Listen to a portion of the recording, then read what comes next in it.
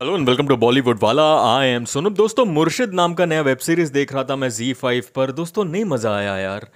बिल्कुल मज़ा नहीं आया। बहुत बोरिंग लगा यार। इनफैक्ट वो जो इंट्रोडक्शन था के के मेनन का, जिस तरह से वो आता है, फिर वो होटल में बैठ के चाय पे चर्चा जो उनका चल रहा है यार, वो जो डिस्कशन चल रहा था that itself was not engaging at all यार। वो मज़ा नहीं आ रहा था यार। और उसके बाद जो भी कुछ होते it was it was not engaging again यार एंड फिर आगे जाके जो भी कुछ हो रहा था, जो दूसरे एक्टर्स लोग आए, वो एक्टर्स में भी दम नज़र नहीं आया। एंड जो बातचीत चल रहा था दोस्त dialogues itself you know made me feel very very bored यार। That was the problem with the series यार। मैं दो एपिसोड देखा, दो एपिसोड में बोर हो गया मैं। मैं बोला, यार, आगे का देखता हूँ, बाद में कभी टाइम मिला तो आगे बैठ के देखूँगा, यार।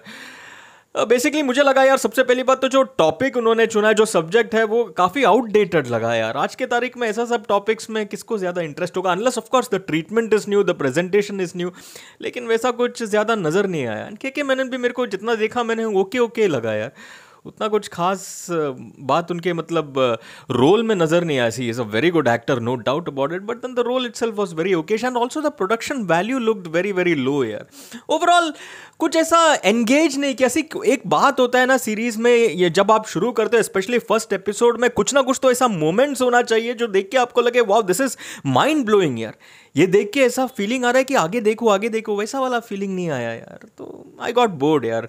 नो स्टार्स क्या स्टार्स दो यार? दोस्तों, अगर आपने मुर्शिद देखा है तो लिख कर बताइए। आपको ये सीरीज़ कैसे लगा? Let me know your take and of course like share and subscribe भी करना चैनल को वीडियो को एंड सुपर थैंक्स का ऑप्शन भी है, वो भी आप दे सकते हो और साथ में इंस्टाग्राम पर भी आप मुझे फॉलो कर सकते हो। मेरा यूज़र नेम है एट बॉलीवुड वाला। चलिए, टाटा!